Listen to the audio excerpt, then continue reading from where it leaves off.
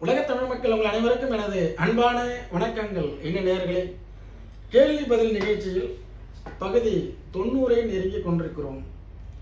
இன்றைய ஒரு தலைப்பு என்ன அப்படின்னு பார்த்தீங்கன்னா கண்டக சனி என்ன செய்யும்? கண்டக சனி என்ன செய்யும்? இன்னைக்கு வந்து ஜாதகம் பார்க்க வந்தவங்க சார் எங்கள் அப்பா வந்து மூணு மாதத்துக்கு முன்னாடி தவறிட்டார். நானும் எங்கள் தம்பியும் ட்வின்ஸு ஒருவேளை இந்த சிம்ம ராசி இப்போ கண்டகச்சேரி போயிட்டு இருக்கிறதுனால அதனால தான் அப்பா இருந்தாங்களா எதெல்லாம் கொண்டு வந்து ஜாயின் பண்ணுறாங்க பார்த்தீங்களா ஒரு சம்பவம் நடக்கிறது என்றால் அந்த சம்பவம் அவருடைய ஜாதகப்படி. அப்போ அந்த பெண்ணுக்கு அந்த திசா புத்தி அந்தரம் சூட்சுமம் இது எல்லாத்தையும் ஒரு ஜாதகப்படி எப்படியெல்லாம் நடக்குது? அவங்களுக்கு என்ன மாதிரி பலன் வருது? அந்த இந்தியன் பராசரர் அஸ்ட்ராலஜியில் அந்த மெத்தடில் பார்த்தீங்கன்னா எவ்வளோ சரியாக போகுதுங்கலாம் உட்காந்து கிட்டத்தட்ட ஒரு மணி நேரம் விளக்கமாக தெரிஞ்சதுக்கப்புறம் இதுக்கு முன்னாடி ஒரு டைம் அப்படி தான் வந்தோம் சார். ஒரு குழப்பத்திலேருந்து நீங்கள் நிறைய ரெஃபரன்ஸ் உதாரணங்கள்லாம் சொல்லி எங்களை அப்போ வழி நடத்துனீங்க இப்போ வீடு கட்டி கிரகப்பிரவேசம் பண்ண டேட்டு குறிக்க வருவேன்னு சொன்னீங்க. அதை இப்போ இன்னைக்கு வந்துட்டாங்க.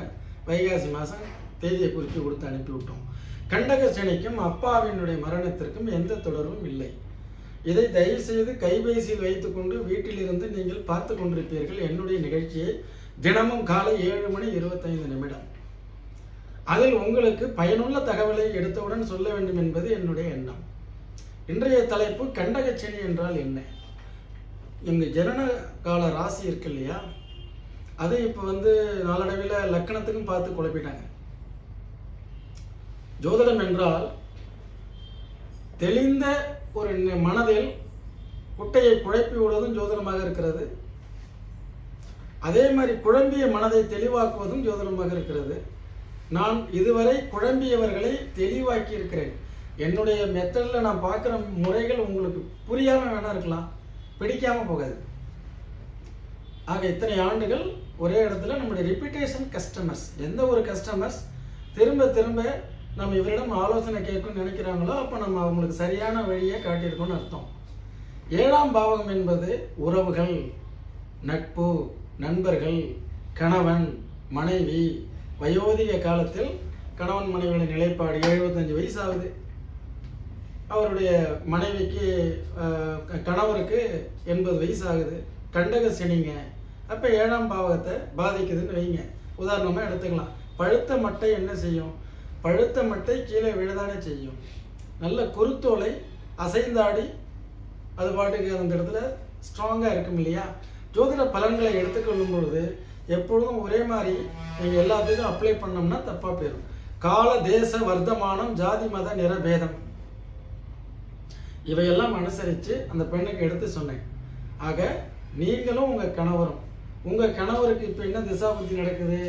அவர் கன்னி ராசிக்காரர். நீங்கள் சிம்ம ராசிக்காரங்க. அவருக்கு நடக்கக்கூடிய திசாபுத்திகளும் உங்களுக்கு நடக்கக்கூடிய திசாபுத்திகளும் உங்கள் ரெண்டு பேருக்குள்ளார எந்த பிரச்சனைகளும் இல்லை. ஆக நீங்கள் வீடு கட்டி கிரக பிரவேசம் பண்ணி வைகாசி மாதம் மகிழ்ச்சியான வாழ்க்கையை வாழப் போகிறீங்க ஆக ஒரு சம்பவத்தை நாம் யூடியூப்பில் உட்காந்துக்கிட்டு கண்டக சனி உங்களுக்கு இது நடக்கும் அது நடக்கணும் பொத்தாம் பொதுவாக பேசணும்னா மக்கள் இப்போது முன்னாடியெல்லாம் டிவியில் பார்த்தாங்க என்ன? ஜெயா டிவியில் பேசியிருக்கேன் சங்கரா டிவியில் பேசியிருக்கேன். லோட்டஸ் நியூஸில் போய் பேசினேன். அப்புறம் எனக்கு அது பிடிக்கல மேட்ச் ஆகலை. ஏன்னா அது வேறு மாதிரி என்னை வந்து பரிகாரங்கள்லாம் செஞ்சு கொடுப்பீங்களான்னு கேட்டாங்க. அப்போ யூடியூப்பில் நான் தேவைப்படுபவர்கள் தேடப்படுவேன் நான். யூடியூப்பில் நான் என்னை ப்ரமோட் பண்ணிக்கிறது இல்லை இப்போ இந்த வீடியோலாம் யூடியூப் ப்ரமோட் பண்ணல. மக்களாகி நீங்கள் உங்களுக்கு போய் சேருது டெய்லி ஒரு ஐநூறு பேர் பார்க்குறீங்க. நீங்கள் ப்ரமோட் பண்ணி யாருக்காவது அனுப்புனாதான். கண்டகச்சனி என்றால் கண் கலங்காதீர்கள் நேயர்களே. சிம்ம ராசியை பொறுத்தவரை கண்டகச்சனி என்னதான் செய்யும் என்று நான் வீடியோவில் போட்டிருக்கேன். அதை போய் பின்னோக்கி போய் பாருங்கள் எடுத்து கேளுங்க. இல்லையா எனக்கு பிளேலிஸ்ட் வேணும் சிம்ம ராசிக்காரங்கள்லாம் அப்படின்னா பிளேலிஸ்ட் எடுத்து அனுப்புனா அது ஒரு முப்பது வீடியோ இருக்கும். உங்களை பற்றியே பேசியிருப்போம். வாட்ஸ்அப்பில் சென்ட் மை பிளேலிஸ்ட் சிம்மம்னு போடுங்க. உங்கள் வீட்டில் எத்தனை ராசி இருக்காங்க? நாலு ராசி இருக்காங்களா? நாலு பேர் ராசியும் போடுங்க. என்னுடைய பிளேலிஸ்ட் அனுப்புகிறேன் அப்படியே இந்த ஜோதிடர் நமக்கு என்ன வழிகாட்டுறார் என்ன சொல்ல வரார் நிதர்சனமான உண்மைகளை நிச்சயமாக நடக்கும் என்கிறார். இதுதானே யதார்த்தமான வாழ்க்கை. நாம் திடீரென்று நண்பர் வீடியோ எடுத்துட்டு இருக்காரு அவர் சொல்றார். அவர் என்ன சொல்றார் திடீர்னு எனக்கு பதினாறு கோடி ரூபாய் ராசிக்கு ராசிக்கு வரப்போகுதுங்கிறார் இதெல்லாம் நடக்காது. கண்டகச்சனி என்றால் கண்டம் என்பது நடக்காது. கண்டகச்சனி என்பது கணவன் மனைவிக்கு பிரிவினை நடக்காது. பிரச்சனை ஜாதகத்தில் தசாபதியில் நன்றாக இருந்தால் பிரச்சனை வராது. இல்லை என்றால் கருத்து வேற்றுமைகள் வரும். உறவுகள் நட்புகள் சொந்த பந்தங்கள் அவங்களிடம் இருந்து விலகி நில்லுங்கள். ரெண்டரை வருஷம் அவங்களுடைய டீல் பண்ணுறத கொஞ்சம் தவிர்த்துருங்க. அவங்களோட வரவு செலவு பண்ணுறதுனா குறைச்சிக்கோங்க. இன்றைய தகவல் பயனுள்ளதாக இருக்கும்னு நினைக்கிறேன். நேயர்கள் காத்திருப்பாங்க. யார் யாரெல்லாம் இன்றைக்கி என்னென்ன கேள்வி கேட்டிருக்காங்கன்னு பார்ப்போம். ரைட் பிரணீதா. பிரணீதா வந்து டேட் ஆஃப் பர்த் கொடுத்துருக்காங்க. நைன்டீன் எயிட்டி நைன் எல்லாம் செகண்ட் மேரேஜ் நல்லா அமையுமா சார் செகண்ட் மேரேஜ் பண்ணலாமா வேண்டாமா? இரண்டாம் திருமணம். இரண்டாம் திருமணம். நல்ல கேள்வி. ஏன்னா இவங்க முதல் திருமணத்தில் வந்து பாதிப்பு ஏற்பட்டிருக்கணும். முதல் திருமணம் எதை குறிக்கும்? ஏழாம் பாவாதிபதி கெட்டு ஏழாம் பாவகம் கெட்டு செவ்வாய் ஒரு பெண் ஜாதகத்துக்கு செவ்வாயும் கெட்டிருந்தால் அந்த திருமண வாழ்க்கை அவ்வளவு சிறப்பாக இருக்காது. பதிமூணு பத்து எண்பத்தி ஒம்பது. இரண்டாம் திருமணத்திற்காக சொல்லப்பட்ட பதினொன்றாம் பாவாதிபதி நன்றாக இருக்குமேயானால் இரண்டாம் திருமணம் அவங்க வாழ்க்கைக்கு புனர்ஜென்ம வாழ்க்கையை கொடுக்கும்.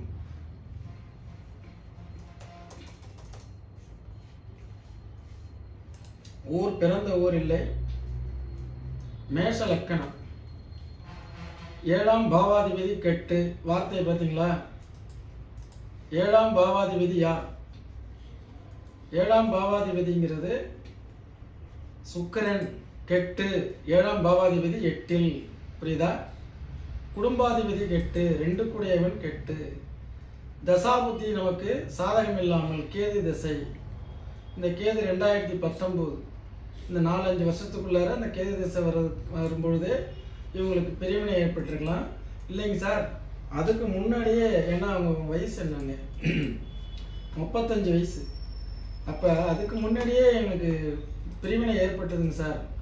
அதுக்கு ஏழுக்கு பன்னெண்டு கூடியவனுடைய திசை ஆறாம் பாவாதிபதி திசை நடந்து இந்த மாதிரி கிரக அமைப்புகள்லாம் கெட்டிருந்து லக்னாதிபதியும் கெட்டு லக்னாதிபதி ஆறில். இத்தனை அமைப்புகளும் கெட்டு போனபோது தான் அவங்களுக்கு ஃபஸ்ட்டு மேரேஜ் ஃபெயிலியர் ஆகுது. சரிங்களா? அதே மாதிரி இளைய தாரம் பதினொன்றாம் பாவாதிபதி பாக்கிய ஸ்தானத்தில் அதிர்ஷ்டத்தை தரக்கூடியவர் நல்ல வாழ்க்கையை இந்த பெண் பிரணீதாவுக்கு தரக்கூடியவர் யார் அப்படின்னா இரண்டாவது கணவர். அது அமையும் காலம் எப்பொழுது? பத்து மூணு ரெண்டாயிரத்தி இருபத்தி நாலுக்கு மேலே கேது திசையில் சனி புத்தி வரும்பொழுது இந்த பதினொன்றாம் பாவாதிபதி அதனுடைய காலம் அது. அதை குரு பார்வை இருப்பதாலும் அதே மாதிரி இந்த கேது யாருடைய நட்சத்திரத்தில் இருக்குன்னா சுக்கரனுடைய ஸ்டார்ல இருக்கு பாருங்க. போராடம் ஒன்னாம் பாதம். சுக்கரன்னா பொதுவாக உடனே சாரநாதன் எட்டில் கெடுறான்னு எடுக்கக்கூடாது இப்போ. முதல்ல ஏழு குடையவன் கெட்டுது பதினொன்று குடையவன் பாக்கியத்தில். ரைட்டா இது இன்னொரு திருமணம் நடக்கும். நல்ல வரனாக அமையும். வாழ்த்துக்கள். இதுதான் தெளிவான விளக்கம். சரிங்களா? நான் முதல்ல எதுவுமே கட்டத்தை ஓப்பன் பண்ணுறது இல்லை. நம்ம ஸ்டைல் ஓப்பன் பண்ணுறதுக்கு முன்னாடி ஹிண்ட்ஸ் கொடுப்பேன். ஏழாம் பாவாதிபதி எட்டில். அல்லது கெட்டு. ஏழாம் பாவகம் கெட்டு. கெட்டுருச்சு இல்லை? அதனால தான் மன வாழ்க்கை. பார்த்தீங்களா எந்த அளவுக்கு அஸ்ட்ராலஜி கரெக்டாக இருக்குன்னு பாருங்கள் பூர்வீகம் ஏன் ஆகாது ஓர் ஆய்வு? அதை பார்த்துட்டு தீபிகா அவங்க என்ன கேட்டிருக்காங்க? சார் ஒன்பதாம் பாவகத்தில் சனி செவ்வாய் சுக்கிரன் புதன் பூர்வீகம் ஆகுமா ஆகாதா? ஐந்தாம் பாவகம் எம்டி சார். என்ன லக்கணம் சாமி?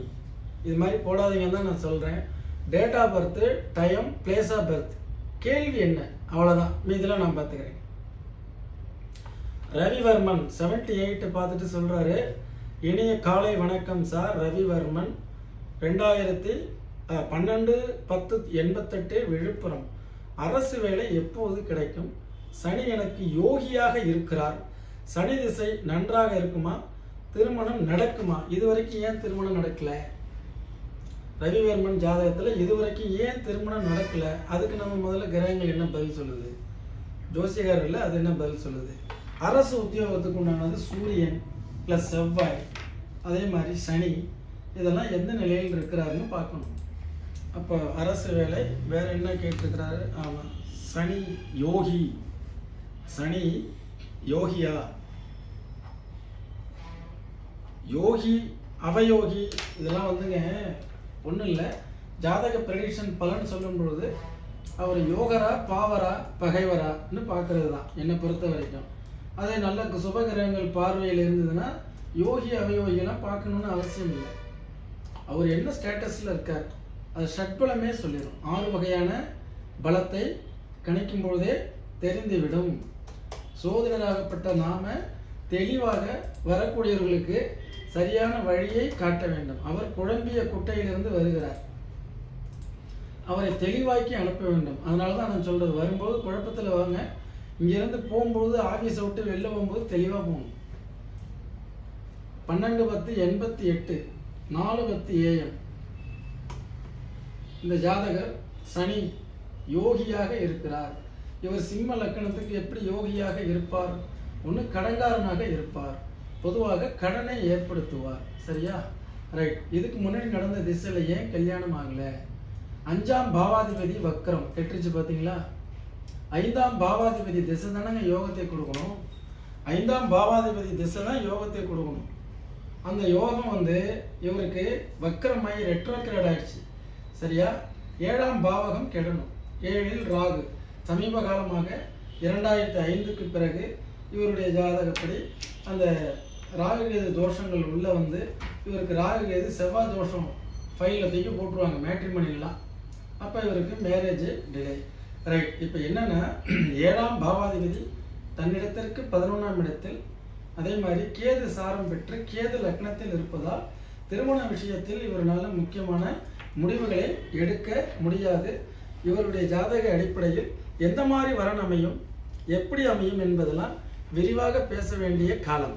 இவர் one to one phone appointment எடுத்து கேட்கறது நல்லது. ரவிவர்மனுக்கு அதுதான் என்னுடைய பதில். கடந்த காலத்தில் உங்களுக்கு ஏன் திருமணம் ஆகலைன்னு என்னுடைய ஆராய்ச்சிக்குள்ளார நான் போனேன்.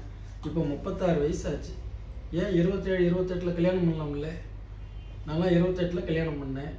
அப்போ ரெட்ரோக்ராடான அஞ்சு குடையம் வக்கரமாகி இருந்து அந்த சனி திசையில் உங்களால் முடிவெடுக்க முடியாமல் குரு திசையில் முடிவெடுக்க முடியாமல் போயிடும் வேற ஒன்றும் இல்லை.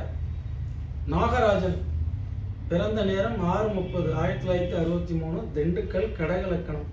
சுக்கர திசை எப்படியா இருக்கும்? வணக்கம் ஐயா. என்ன கேட்டிருக்கிறார்? அறுபது வயதிற்கு மேல் நான் உங்களை சந்திக்கிறேன். சுக்கர திசை எப்படி இருக்கும்னு பொதுவாக கேட்டால் நீங்க எதுக்காக கேட்குறீங்கன்னா கடக லக்கணம்னா பாதகாதிபதி திசை. கடக லக்கணத்துக்கு சுக்கிரன் பாதகாதிபதி. பாதகாதிபதி நிலைப்பாடுகள் அந்த திசை நடக்கும் பொழுது எந்த இடத்தை இண்டிகேட் பண்ணதோ அந்த இடத்தினுடைய காரகத்துவம் பாதகம் அடையும் அவ்வளவுதான். மற்றபடி சுக்கிரன் இருபது வருஷமும் பாதகத்தை செஞ்சா மனுஷன் வாழ முடியாது. அப்ப யோகாதிபதி திசையில் எல்லாரும் குபேரனாக இருக்கிறார்களா? என்னுடைய கேள்வி. பாக்கியாதிபதியினுடைய திசையில் எல்லாரும் பொன்பொருள் ஆடை ஆபரணங்கள் மண்மனை வாகனாதிபதி யோகங்கள் அனைத்தும் பெற்றார்களா? எனக்கு ஒன்பதாம் பாவாதிபதி உச்சம் பெற்று ஐந்தில் இருக்கும் பொழுது வெளிநாட்டு பயணத்தை ஏற்படுத்துச்சு. அவ்வளவுதான். ஒன்பதுன்னா வெளிநாடு. அது நல்லா இருந்ததுனால அறிவை பயன்படுத்தி வெளிநாட்டு தொடர்பு ஏற்படுத்தி. அதோட நின்றுச்சு அவ்வளோதான் அது மாதிரி நம்ம தான் நம்முடைய அறிவை பயன்படுத்தணும். பொதுவாக எப்படி இருக்கும் என்ற கேள்விக்கு பதில் சொல்ல முடியாது.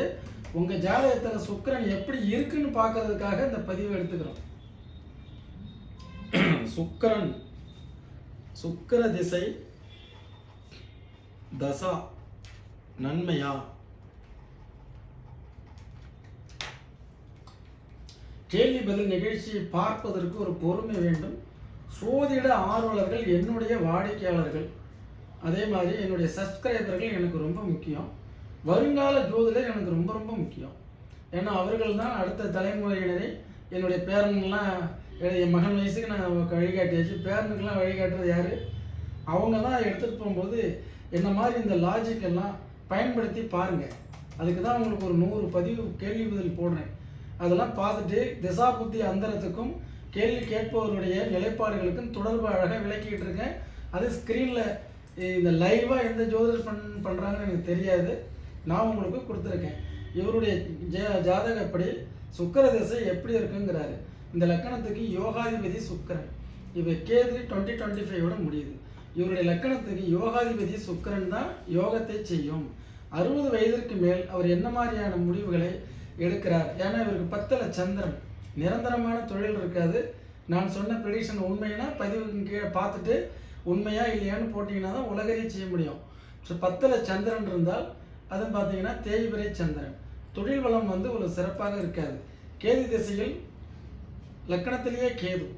லக்கணத்தில் கேது எடுக்கும்பொழுது முக்கிய முடிவுகளை எடுக்க முடியாமல் ரெண்டாயிரத்தி இருபத்தஞ்சு வரைக்கும் திணறுவார். நிறையா இவருடைய தவறான முடிவுகளில் ஏன்னா லக்கணம் கெட்டு போச்சு இல்லையா? லக்கணம் கெட்டுச்சு விரையாதிபதி ரெண்டில். லக்கணத்தில் வந்து கேது இருக்கும் பொழுது எடுக்கக்கூடாத முடிவுகளை எடுத்து அதனால் அவஸ்தைகள் மெத்த உண்டாகி அவஸ்தைகள் பட்டு அடுத்த திசை நன்றாக இருக்குமான்னு கேட்டிருக்காரு. வாழ்த்துக்கள் ஐயா. என்னுடைய ப்ரிடிக்ஷன்ஸ் உங்களுக்கு அடுத்த திசை என்பது நன்றாகத்தான் இருக்கும். அது உங்களுக்கு லக்கணத்துக்கு ஒன்பதாம் பாவாதிபதியினுடைய புதனுடைய நட்சத்திர சாரத்தில் இருக்குது கேட்டையில். அதுபோக லக்கணத்துக்கு யோகாதிபதி திசை பாக்கியாதிபதி சாரம். புரியுதா? யோகாதிபதி திசை பாக்கியாதிபதி சாரம். ரெண்டு கிரகங்களும் எங்க இருக்கு? பொதுவாக சாரம் கொடுத்த புதன் லக்கணத்திலே இருக்கு. புதன் லக்கணத்துல. அதுபோக நட நடப்பு தசாநாதன் வந்து பதினொன்றாம் இடத்துல இருக்கு. வாழ்த்துக்கள். நன்றாக இருக்கும் ஐயா. அடுத்தது இவர் ஒரு கேள்வி என்ன திசை நடக்கிறது? என்னை மாதிரி ஒரு யதார்த்தமாக நம்ம பதில் சொல்றதுனால அது ரொம்ப ஒரு சிலர் வந்து என்ன பண்ணுறாங்க நான் என்ன நட்சத்திரம் அப்படின்னு ஃபோன் பண்ணிலாம் கேட்குறாங்க ஐயா இதுக்கெல்லாம் பக்கத்தில் ப்ரௌசிங் சென்டர் இருக்குது அங்கே போய் கம்ப்யூட்டரில் ஒரு ஜாதகத்தை போட்டிங்கன்னா எல்லா திசா பற்றியும் வந்துடும் சரிங்களா? நமக்கு நிறைய ஆர்வலர்கள் வெவ்வேறான எதிர்பார்ப்புகளோடு இருப்பாங்க. கேட்டதுக்கு நாம் ஒரு மரியாதை செய்வோம். என்ன திசை நடக்கிறது? என்ன ஊர் பிறந்தது? பதினொன்று பன்னெண்டு எண்பத்தெட்டு.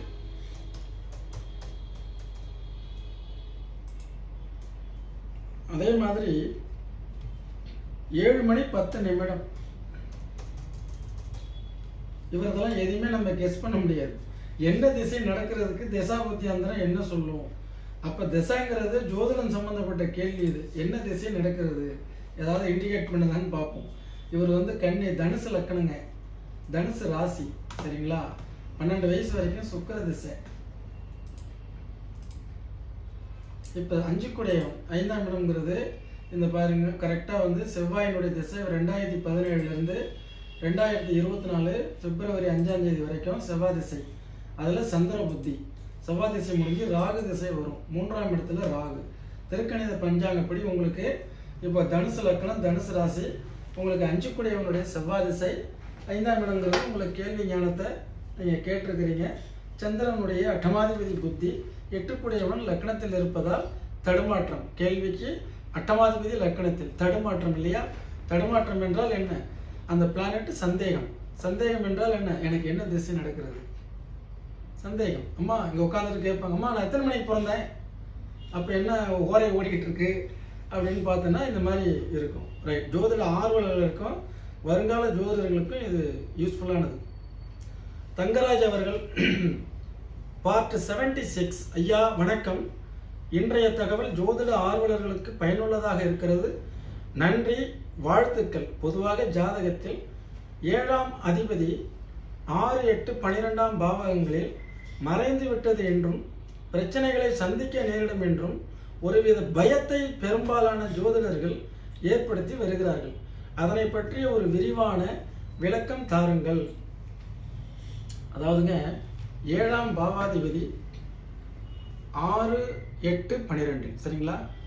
ஆறாம் இடத்தை மட்டும் எடுத்துக்கிட்டோம்னா ஏழுக்கு அது பன்னிரெண்டு ஒரு கோல் ஒன்பது வகையான செயல்களை செய்யும். ஒரு கோள் அந்த ஒன்பது வகையிலையும் பல பிரிவுகள் இருக்கு.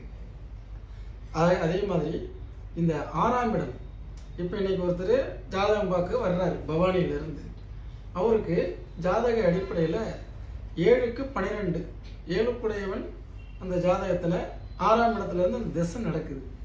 திசை நடக்கும் பொழுது நாம் என்ன கேட்டோம் அப்படின்னா அவருடைய ஜாதக அடிப்படையில் வகைப்படுத்தி ஒன்று மனைவிக்கு விரைய செலவினங்கள் அல்லது மனைவியினால் விரயம். அதே மாதிரி கூட்டு தொழில் பண்ணிங்கன்னா நஷ்டம். உறவினர்களால் பகை. இப்படி ஏதாவது ஒன்று இண்டிகேட் ஆகணுங்க அப்படின்னு கேட்டதுக்கு இல்லைங்க சார் மனைவி பிரிஞ்சு போயிட்டாங்க. அவ்வளோதான் ஏழுக்குடையவன் தன்னிடத்திற்கு பன்னிரெண்டில் அதே மாதிரி தனக்கு ஆறாம் இடத்தில் சத்ருஸ்தானத்தில். அந்த திசாபுத்தி நடக்கிறதா என்று பார்க்கணும் நடக்கலைன்னா அதை பற்றி கவலைப்படக்கூடாது. அதே மாதிரி ஏழாம் பாவாதிபதி எட்டில் ஏழுக்குடையவன் தன்னிடத்திற்கு ரெண்டில். அப்போ ஏழுக்குடையவன் எட்டாம் இடத்துல இருந்தது அப்படின்னா மனைவியினால் தனக்கு நஷ்டங்கள் ஏதாவது ஏற்படும். விரயங்கள். ஏதாவது ஒரு பிஸ்னஸ் ஆரம்பிப்பாங்க லாஸ் ஆகிடுவாங்க இவர் தான் கடன் கட்டுவார். இப்படி எடுத்துக்கலாம்ல. நெகட்டிவ்ல நிறைய இருக்கு பாசிட்டிவ்லேயும் நிறைய இருக்கு. எல்லாருக்கும் பொதுவாக ஏழுக்குடையவன் ஆறு எட்டு பன்னிரெண்டில் மறைந்தால் அதனால உங்களுக்கு லாஸ்ன்னு நீங்கள் எப்படி சொல்ல முடியும்? இப்போ ஏழாம் பாவகம் அப்படிங்கிறது ஏழுக்குடையவன் பன்னிரெண்டில் அந்த தன்னிடத்திற்கு ஆறில் விரயங்கள் விரய செலவுகள் ஆகும். அந்த திசாபதி நடக்கிறதா என்று பார்க்க வேண்டும். இன்றைய கேள்வி பதில்ல இரண்டாம் திருமணம் பண்ணலாமா வேண்டாமா? சனி யோகியா அவயோகியா சிம்ம லக்கணத்திற்கு நன்மை செய்வாரா கெடுதல் செய்வாரா? அதே மாதிரி சுக்கர திசை நன்மையான திசையா அப்படிங்கிறது பார்த்தோம். அதே மாதிரி பார்த்தீங்கன்னா கண்டக சனி என்னதான் செய்யும் அப்படிங்கிறது பார்த்தோம். நாளைய பதிவில் மீண்டும் உங்களை சந்திக்கிறேன். என்று உங்களுடைய ஜோதிட வாழ்வியல் ஆலோசகராக பகுதி தொண்ணூற்றி ஒன்றில் மீட் பண்ணுவோம். நன்றி வணக்கம்.